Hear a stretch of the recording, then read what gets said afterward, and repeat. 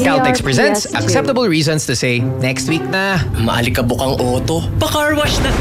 Ay, next week na. Bisita ako kay tita. Parang tumataba ka.